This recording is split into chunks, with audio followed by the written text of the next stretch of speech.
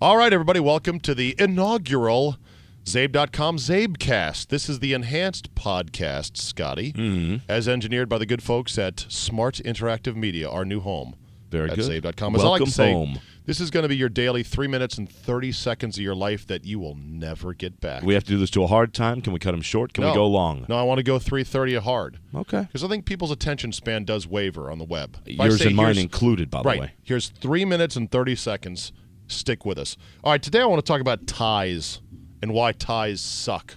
Okay. You know what they call ties? Uh, Well, kissing it's your like sister. kissing your sister. And you know why kissing your sister sucks? For some people, it could You- be hot, like well- if you were Angelina Jolie's brother. Yeah. Well, because you can't tongue your sister. That's Well, why it sucks. Yeah, that's a really good point. All right, how about- Disgusting and illegal in some states. I know. How about Father's Day ties? They suck because it's Father's Day. You work your ass off, and your kids give you what? A tie. The horrible feeling, uncomfortable workplace attire known it's as a tie. constriction for one's neck. Right. Thanks. Uh, How about handcuffs next year? Another tie that sucks.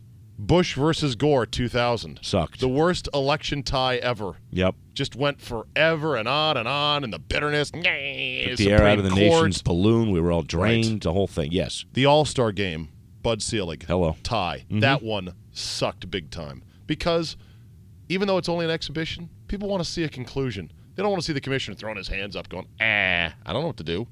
How about Pat Dye, Auburn coach, 1988 Sugar Bowl versus Syracuse, kicks a 30 yarder at the gun to force a 16 to 16 tie. No overtime back in the day. Not then. Syracuse was undefeated, by the way. Oh. And uh, Dick MacPherson, their coach, was hot pissed afterwards because all the Auburn players wanted to go for a touchdown pass Sure. To win. And Pat Dye said afterwards, I don't care. I'm going hunting. Rumor has it he was a conservative.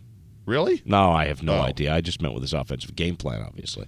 I imagine in horse racing there have been ties, right? They like to call them dead heats, And aka they- photo finishes. Do they pay out both? you will get a yes. I don't know if it's a split or they give you odds for both winners. Okay. That I'm unsure of. The Ryder Cup can end in a tie, but team that owns the cup keeps Right, it. Right, the so incumbent keeps it. it's really like a win, basically. Yeah, you go in there with So basically not a a half point on your side if you're right. holding. Right. Um, in boxing, when there's a tie or a draw, people get pissed because you know what it is. It's a cynical ploy to set up a rematch. Absolutely. And What's- you know what's so cyni- what's so cynical about it? It's Right. right, there in your face. It's not Right. subtle nor cynical. And I think the ultimate game that sucks when it comes to ties is tic tac toe. Always New ends in a board. tie, New board. right? Yeah, unless How you're being you- beaten by a four year old, which you- happens at my house all the time. How do you lose in tic tac toe? Uh, not paying attention. Okay. You any know? other any other ties that I've missed, or any other ways in which ties suck? Well, this all off the McNabb tie where he didn't know what was going on. There's not only the ties, but the double knockdown, like in MMA. Okay. Always good to see. All right, so there you go. Three minutes, 30 seconds or thereabout of your life you'll never get back. Thanks for watching the Daily Czabecast. We'll see you tomorrow.